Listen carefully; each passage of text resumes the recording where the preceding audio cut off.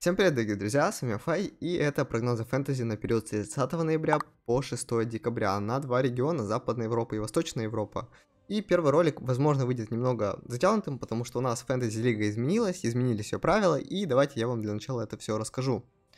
В общем-то, как вы помните, в обзоре в целом с этим обновлением я сказал, что можно ставить прогнозы на несколько регионов и получать награды.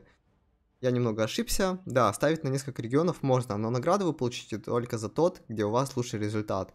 То есть, э, если у меня будет Западная Европа 50%, а Восточная Европа 10%, то получу я одну награду за 10%. Работает сейчас это примерно так. И второе, самое главное ключевое изменение, то что, как вы помните, ранее у нас из серии, из одной игры, одна игра это от BO3 условно возьмем, в учет шли, то есть очки нам приносили только два лучших матча. И мы раньше ставили фэнтези от того, чем больше команда играет различных игр, тем больше, соответственно, принесет нам очков. Но с последнего обновления у нас теперь лучше идет только одна игра, и, соответственно, с нее два матча.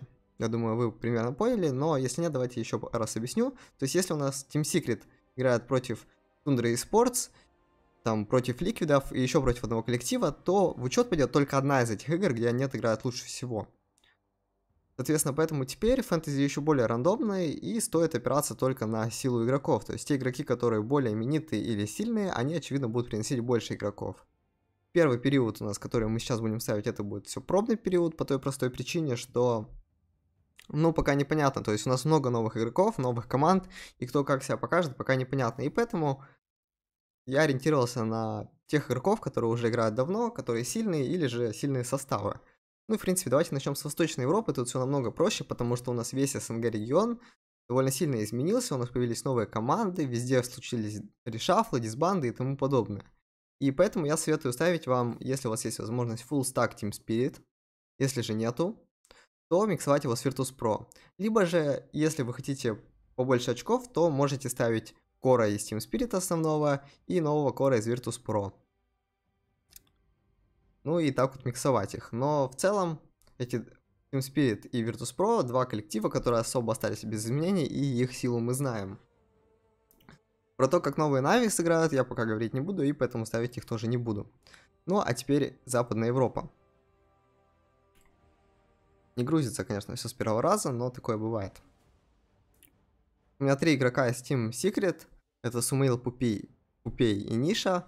Я считаю, что это самый оптимальный вариант расставить фэнтези на первый период, потому что, ну, в принципе, секреты, как и были, всегда фаворитами, заняли топ-3 на инте, и, в принципе, состав у них, если изменился, то, как по мне, в лучшую сторону.